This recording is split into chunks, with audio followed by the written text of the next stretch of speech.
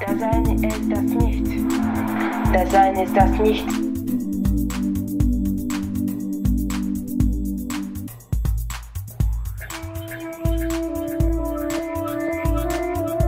Небо, земля, люди, боги и мы, распятые на кресте толкования.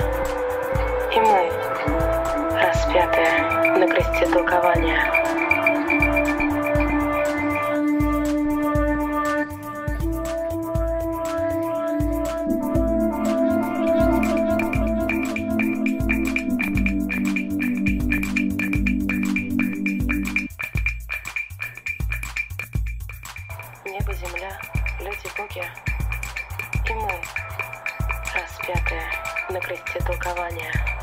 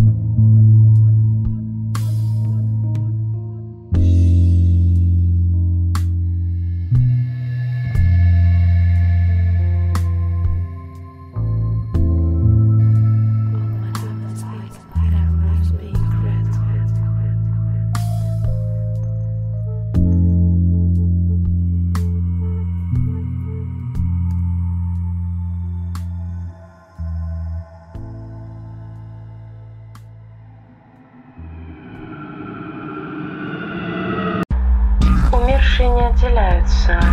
Они все еще кружатся вокруг своих тел.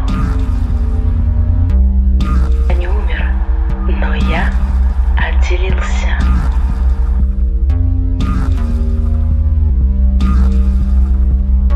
Однако, не существую больше, я вижу то, что существует. Я в самом деле слился с этой сущностью.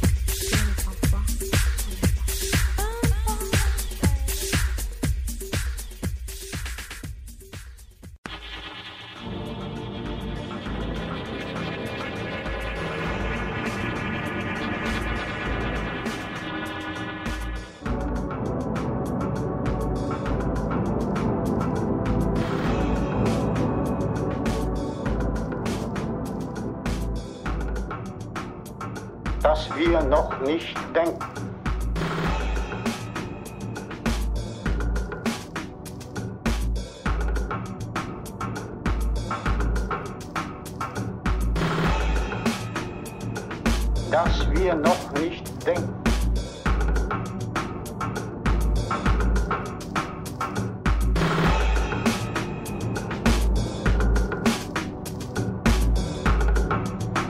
Allein die Behauptung lautet anders. Sie sagt, das Bedenklichste zeigt sich in unserer bedenklichen Zeit daran, dass wir, das, wir, das, wir, dass wir, dass wir, dass wir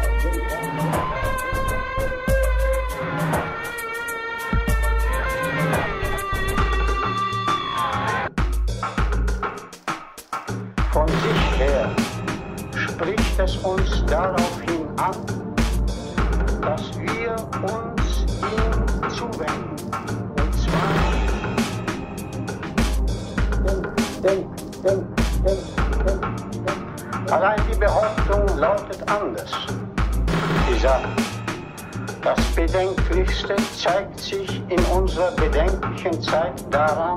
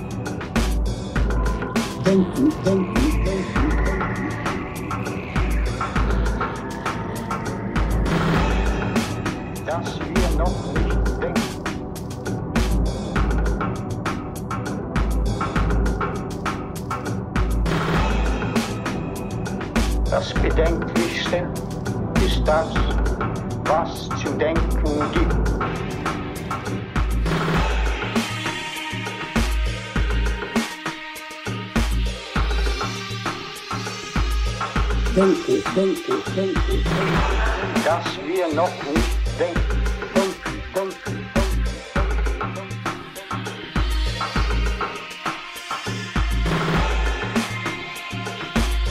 Allein die Behauptung lautet anders. Sie sagt, das Bedenklichste zeigt sich in unserer bedenklichen Zeit daran,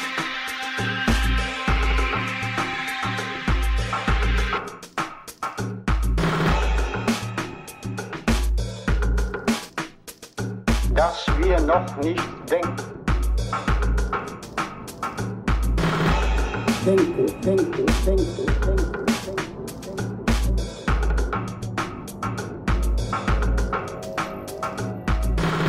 dass wir noch nicht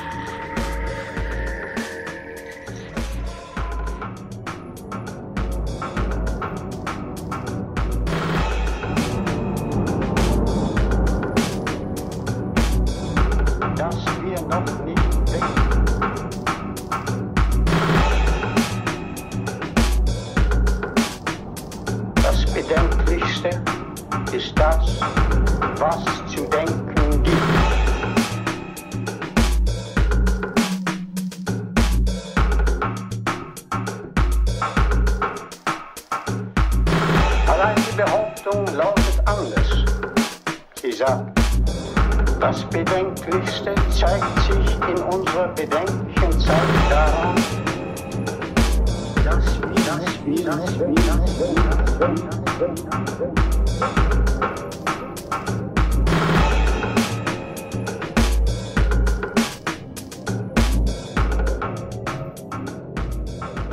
dass wir noch nicht denken. Denken, denken, denken, dass wir noch nicht denken, dass wir noch nicht denken.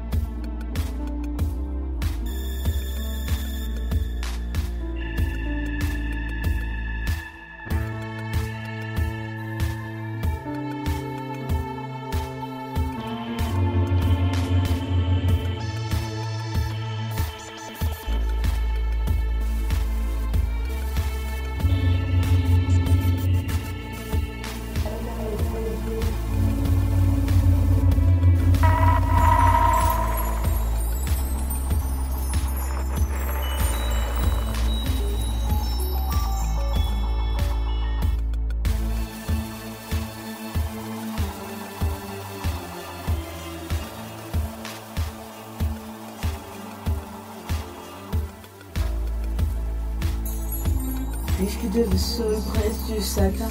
Là devant ses crânes, s'imprendit d'enfant.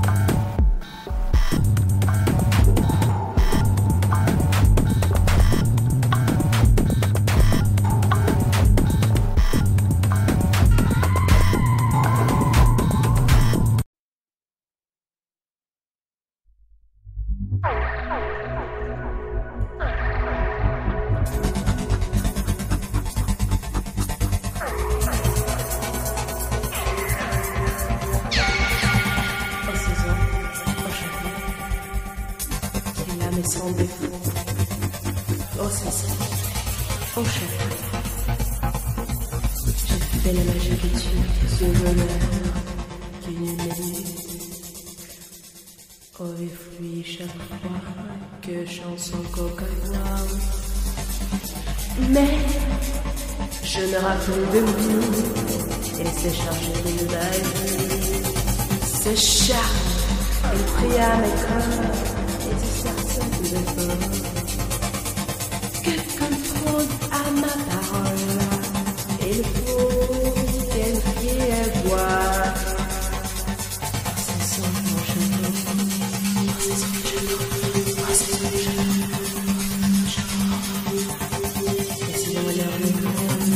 disgracias. Es lo que son. Mais les grands films repassent.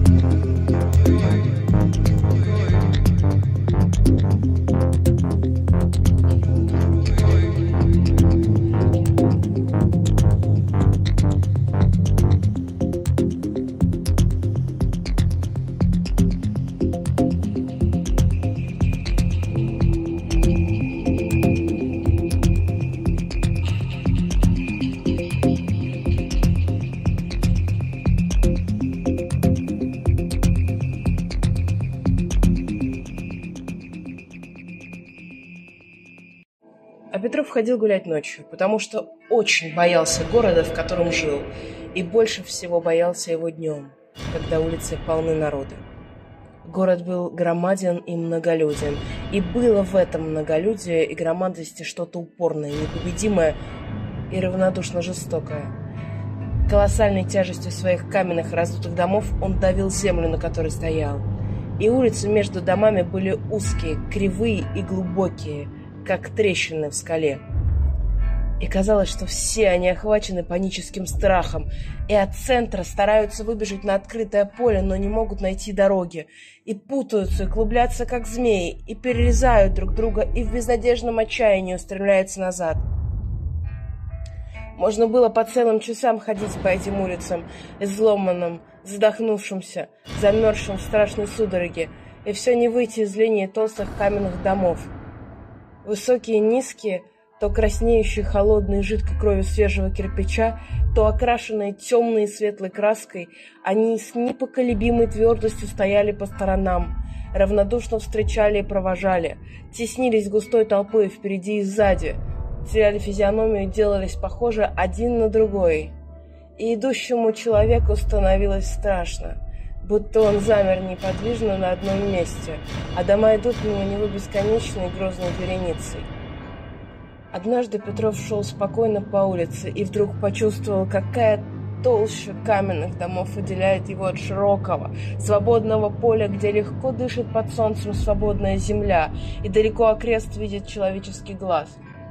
И ему почудилось, что он задыхается и слепнет, и захотелось сбежать, чтобы вырваться из каменных объятий. И было страшно подумать, что как бы скоро он не бежал, его будут провожать по сторонам все дома, дома, и он успеет задохнуться, прежде чем выбежать за город.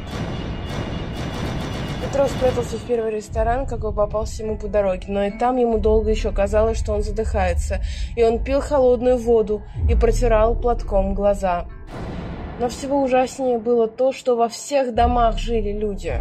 Их было множество, и все они были незнакомые и чужие, и все они жили своей собственной, скрытой для глаз жизнью. Непрерывно рождались и умирали, и не было начала и конца этому потоку.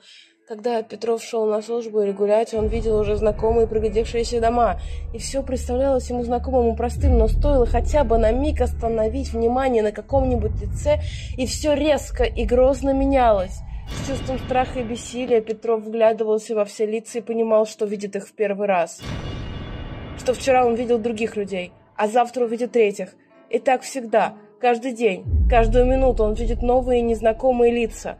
Вон толстый господин, на которого глядел Петров, скрылся за углом, и никогда больше Петров не увидит его.